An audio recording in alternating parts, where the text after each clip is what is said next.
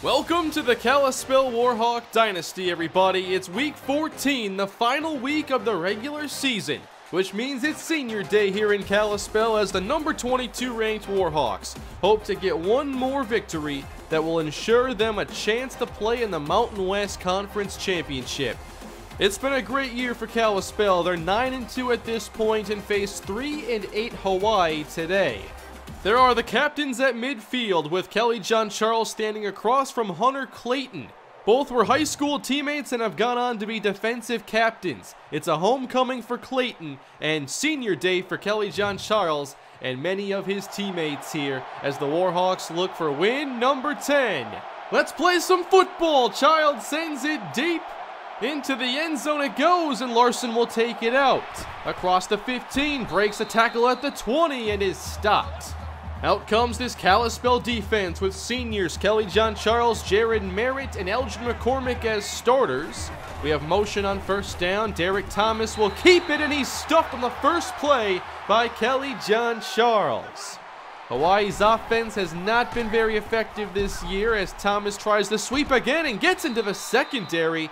He broke a tackle and got 16. The Rainbow Warrior offense has averaged only 22.9 points per game, second lowest in the conference. And again, they bring a receiver in motion, and Hughes is stuffed. Do they change it up now? Second and 12, they will. Thomas back to pass, complete to Hughes, who comes back for the ball. Gives up some ground, but gets seven yards. Crowd getting into it now on third down. Warhawks blitz. Throw to the outside is complete. It's Hodges in Kalispell territory. It's a gain of 21. Evans up top for Kalispell. It's a draw. Reddick up the middle, and he's hit hard by Kelly John Charles. Gain of five. Again, third down. Thomas will look to keep it, and he's going nowhere. Nothing but blue jerseys in front. That's Anthony Owens on the stop. Hawaii in scoring range will settle for a field goal try, and this kick is through the uprights. 3-0 Rainbow Warriors. Now up we have the Kalispell offense, which has had one of its most exciting seasons in team history, with a lot of senior playmakers. Here's one of them. On the carry, it's Roscoe Sheridan to the outside as he picks up around four.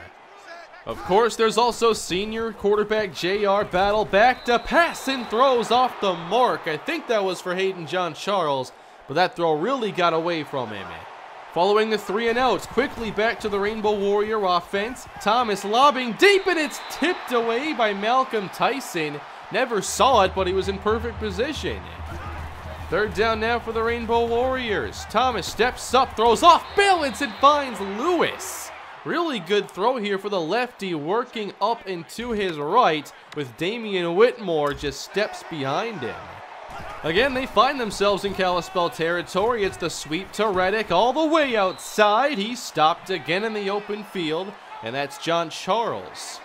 Reddick shaken up after that last hit, so Williams is now in the game. He dives up the middle. Phil Williams for about five.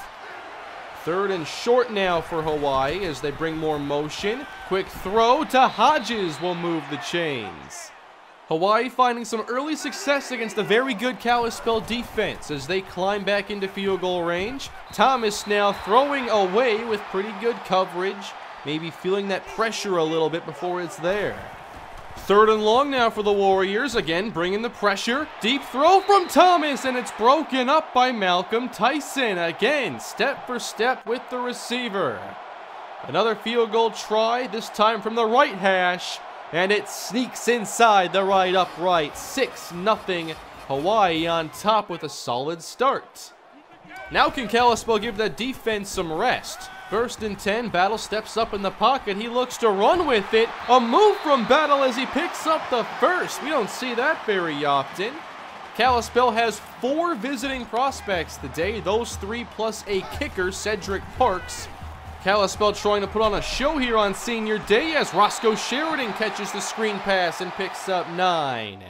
It's always fun for me to see who steps up on senior day. You never know what's going to happen. As Amonte Jones coming across the middle makes the catch, and that's good for 16. Now the Warhawks cross the 50 for the first time. They sweep it to the right. Sheridan cuts up field, picks up seven. That outside zone has been a calling card of this offense this year. Another sweep to the right. Sheridan trying to get downhill quickly, and he is met behind the first down marker. Really good job by the front seven, but Kalispell says, stop it again. Fourth and inches, they got it. Bo Lee on the fullback dive gives Kalispell a new set of downs. Now Corey Miller joins the fun, split backs, battle going deep across the middle, and splitting the safeties is Ja'Cory Day, touchdown. There's another senior, Ja'Cory Day, who's been making big plays here for four years. And that's the 50th career passing touchdown for J.R. Battle, second place behind Marquise Walker, who had 65 in his four seasons. 7 to 6, Kalispell, and this is knocked away. John Charles knows he had a chance to jump that route. Third and 7, another blitz from Kalispell. Thomas short to Hodges, and he's going nowhere. That's Glenn Hayes on the tackle, three and out. Hawaii started out pretty well, but Kalispell has that ability to change things quickly. Now it's Ja'Cory Day. He'll make them run. Out across the 40 to midfield and out of bounds. 26-yard punt return. Kalispell now to end the first quarter. They will run it. Roscoe Sheridan gets a lane, runs over a defender, and falls ahead across the first down marker. I'll definitely miss Sheridan when he graduates this year. Battle back to the air, and a catch by Day again going over the middle. 18 more for the Kalispell senior. Right at the edge of the red zone now. Battle first and 10, finding Lamar Williams. Lamar has had the breakout senior season with 10 touchdowns. Warhawks inside the 15 as they hand it off again. There is Roscoe Sheridan through a lane into the end zone. Touchdown. Sheridan's 31st rushing touchdown as a Warhawk. He has well over 4,000 rushing yards as well. 14-6 Kalispell here in the second as they blitz Thomas. They've been relentless with the blitzes today, and it's Alex Hardy who is unaccounted for. Warhawks playing with some real energy now in this half. Thomas wants the screen on third and long. Reddick makes the grab. He'll break one tackle, but then Wesley Merrill comes in to make the hit, and that drive is over. Kalispell up eight, and they are rolling right now. The sweep today is chased down from the backside, just a gain of one. Spreading out the field now with four receivers as Battle is taken down. He was blindsided. What a hit by Anthony Larson. Now it's Kalispell on the third and long. And another blitz by the Warriors as Battle escapes the rush. Fires outside, but Day's out of bounds, so that's it for this drive. Good answer there by Hawaii. Their offense, however, has been shut down these last few possessions. That Warhawk blitz has definitely gotten to him as Thomas stays on his feet but throws out of bounds. They're definitely making Thomas play under heavy pressure. Thomas wants another screen, but he won't get the chance. Kelly John Charles, too quick to the quarterback. He already has five tackles and is flying around the field. Warhawk football again, and wide open short. This is Roscoe Sheridan taking the catch and picking up 16 yards. Warhawks inside the 30. Now Corey Miller is the tailback as he will spin his way forward for about three. Two tight ends in the game, Reggie Jackson and Hayden John Charles, as the catch is made by John Charles, and this will go for nine. Two tight ends once again. Miller getting a few more snaps. He breaks one arm tackle and drags defenders forward. Gain of six. Kalispell very efficient in working down the field. Now Battle rolls out right. And he'll throw it to the end zone where it's intercepted. Floated it for Hayden John Charles, and it's a rare red zone turnover. He gave up these underneath options because he thought he had John Charles wide open. Really good job there by the defender who kind of baited that throw. It's still just an eight-point game as Reddick tries to sweep, and there's Wesley Merrill again. Two and change to go in this first half with Thomas again going down in an instant. Elgin McCormick rushing from the interior. Kalispell entered this week tied for first in sacks in the Mountain West Conference. They may own first place after this game. Warhawks again take over, getting battle outside, and this pass is broken up, trying to find Lamar Williams. Rolling out battle is now working, so they'll keep him in the pocket on second down. Short, Sheridan spun around for a gain of around six. Clock down to a minute 18 as the Warhawks look for four yards. Good coverage and battle going down again. He's sacked by Hunter Clayton. Hawaii continues to keep this game close, and here's the replay with number three, Hunter Clayton going against Bryce Wiley. He gets around him and makes the play against the team that definitely spent a lot of time recruiting him. 14 to 6, not quite to halftime as this punt is returnable and Larson gets some room. So it's a very short net for Kalispell and Hawaii has a couple timeouts to see what they can do. Just about 60 seconds left with Thomas over the middle to Hughes. Making the catch in Warhawk territory, gain of 18. One more first down would probably put them in field goal range as Daniels makes the catch on the slant for about 9. Thomas 9 of 16 in the air. He'll throw again on third down. Short for Reddick, who fights his way forward and picks up another first down. Definitely in field goal range now, but they want more. Thomas gets time, floats one for Daniels right at the sticks, and they move again, stopping the clock. The Rainbow Warriors still have that final timeout. Thomas on first down, middle for Hughes. To the goal line, he lost it!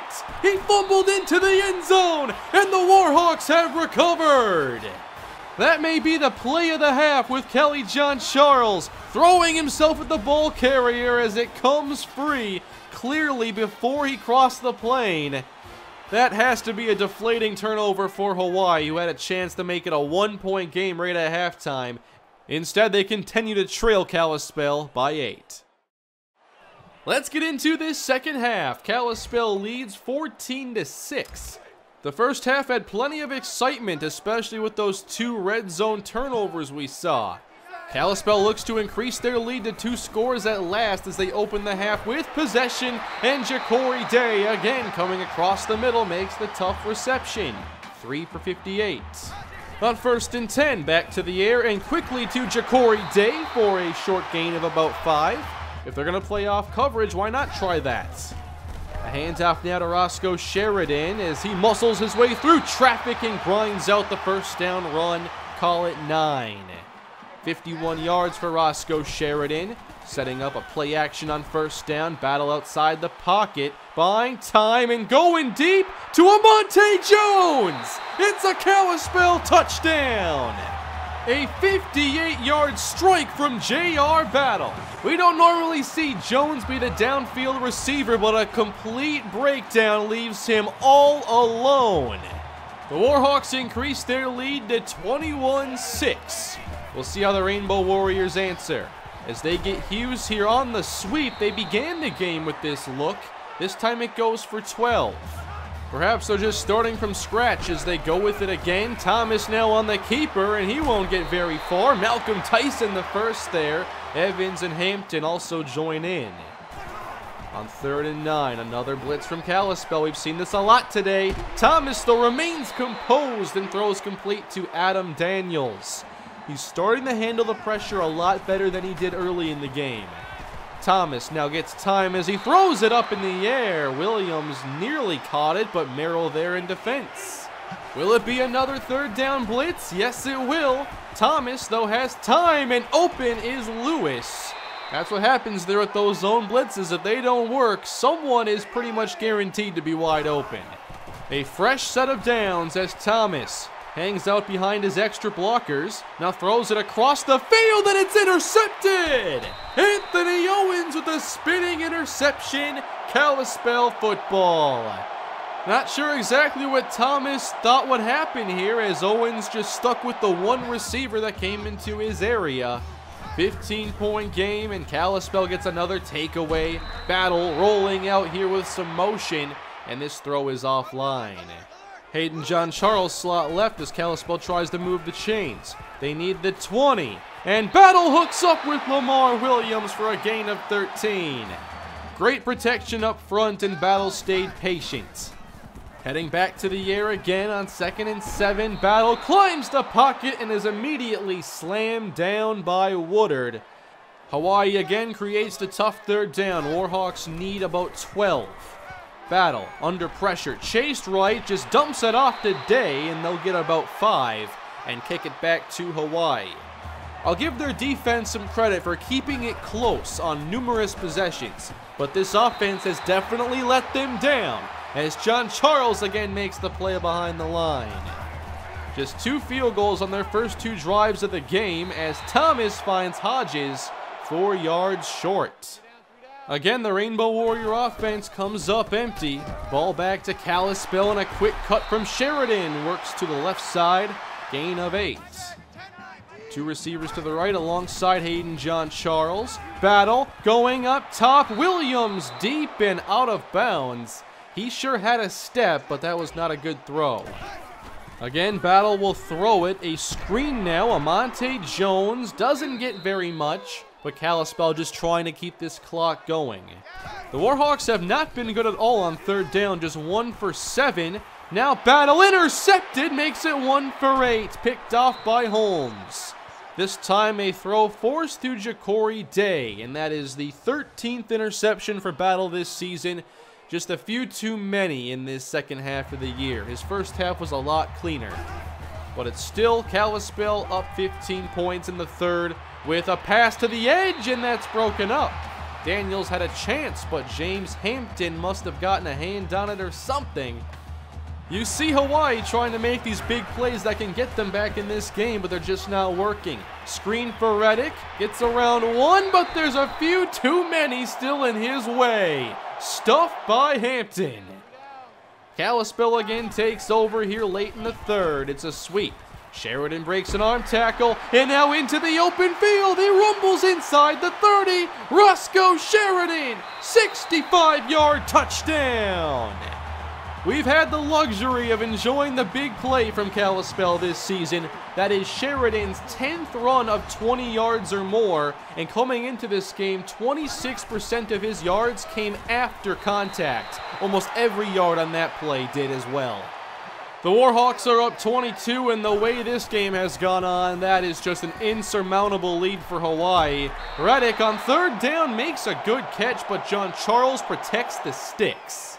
We'll start the fourth quarter with fourth and inches. Thomas runs the option, and he's going down. Whitmore went straight to the pitch man, and Thomas couldn't do anything. Oh, now what's this? Kalispell comes out, and the Wildcat. It's a handoff to Kelly John Charles playing some offense. He loses five. Well, that was interesting. Now back to the standard offense. Battle on third down. Finds the open Sheridan. And he takes the catch underneath all the way for a first down. Needed 16 and he picked up 18.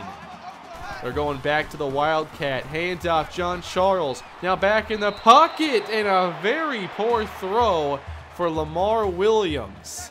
They're trying something weird here with the big play, and it's not working. Now it's a jump ball for Williams on third down, broken up. And Kalispell will be forced to kick. 31 to 6 as this fourth quarter continues on. It has gotten a bit out of hand now for the Rainbow Warriors, who played competitive in that first half. But I feel like after that fumble at the end of the half, that kind of just took all their energy out of this game. As Kalispell again forces fourth down. Kalispell gets it back. They're going Wildcat again. Now it is a keeper, and Ja'Cory Day gets to the outside, to the 40, and no one will catch him. There goes Ja'Cory Day, 67 yards to the house, his second career rushing touchdown to go with 25 receiving, two kick returns, and a punt return. And the interception that wasn't a touchdown, but was still a really cool play. 38 6 all Kalispell in this dominant effort. There's another sack for Elgin McCormick. On second and 17, Thomas again under pressure, and he's brought down again by Elgin McCormick. You can give the assist to Anthony Owens as he just sent Thomas spinning forward. Three sacks on the day for Elgin McCormick. Sets up a third and 23. Thomas again in trouble. He's sacked again. three straight plays, he's sacked by McCormick, who now ties the Brock Schultz record of four sacks in a game for Kalispell. What a game here in Week 14. Warhawks on their way to victory, and it looks like the Rainbow Warriors will not be using their timeouts. Third down and four for JR Battle. He'll throw it again, or instead, tuck it and run, sliding ahead inside the 15. Okay, here's Wildcat again. They're clearly trying to do something here. It's Kelly John Charles now. He's looking to throw it. His brother's in the area, and he misses. John Charles 0 for 2 throwing and now a little shaken up, but he does appear to be all right. It's a successful Warhawk victory here in Week 14, and they have won the Mountain Division in the Mountain West Conference. We saw a lot of seniors make big plays today, from JR Battle to Ja'Cory Day, Roscoe Sheridan, and Kelly John Charles, and can't forget the way Elgin McCormick closed out this game. Very fun week of Kalispell football, giving them another 10-win season, but a chance to make it even more with the upcoming conference title game and eventually another bowl game. We may not have gotten the big play at the end trying to get Kelly John Charles to throw a touchdown to his brother, but he's okay, he's not injured, and Kalispell still gets a 32-point victory.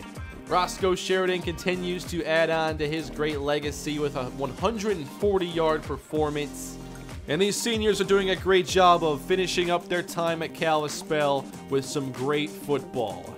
So now we look ahead to the Mountain West Conference title game.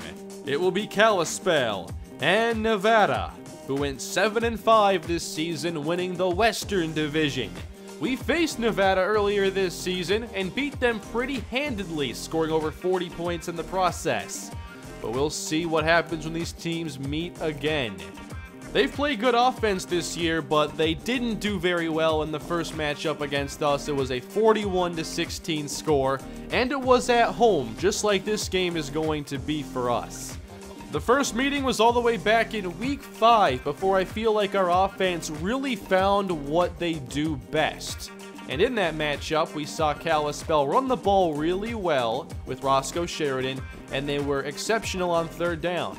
Also, JR Battle had a pretty easygoing day 80% completion, 3 touchdowns, no interceptions. That was one of our most dominant games. But can we do it again for the conference title? Nevada did start the year pretty poorly, but played great down the stretch, winning four out of their last five games. So maybe they're a different team this time around. This is Kalispell's second attempt at winning the Mountain West Conference Championship. And if they can do that and go into bowl season 11 and 2, I wonder what kind of bowl game they'll be given. Here are the numbers now through the regular season with JR Battle just one away from 30 touchdowns on the year. He's already broken the Kalispell single season record and is raising it game by game.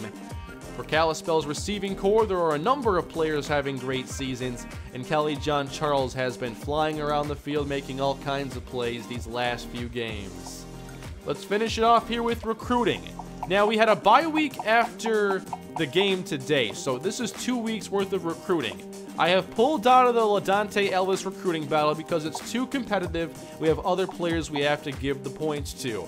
We did get two commits from players who visited in week 14, one being Antoine Knightley from Kalispell. He is 6'3", a possession receiver, probably not very explosive, but hopefully very effective in the red zone. Then Cedric Parks, a kicker who I think will play punter like Jeff Childs has, with his leg not being very strong. And I found that recruiting kickers is really challenging, especially because the few that are very good are usually interested in the bigger schools. We lost out on wide receiver Marcus Copeland, who had some speed and was an underrated prospect, and then Robert Vini, a guard who I thought was very overrated but still intriguing, decided on Oregon State. Now, in the following week, Recruiting now is essentially over until the off season, so these are the players we are still trying to get commits from. We're in a good position for many of them, but there are going to be a lot of competitive battles when we get to the off season. It'll be a real challenge to manage that all. But we did get a very surprising commit from Tommy Jordan, who's a four-star athlete from Georgia, who I think could be a receiver as a true freshman. He could play DB or receiver, but I believe receiver will be his best long-term position, and I could see him making a very early impact. Then we get a commit from tight end Keenan Gabbard from Missoula, Montana. I'm not sure he'll ever be dynamic enough to be a starter, but he should be adequate depth. So we do not have very many commits right now. The offseason is going to be very critical for us in recruiting. But that brings this episode to an end with the conference championship up next for Kalispell. Thank you all for watching. Please leave a like on the video. Also subscribe to the channel and leave your thoughts below in the comment section on what you thought about today's game, the rest of the year, or recruiting. I'll see you all next time. Have a great day.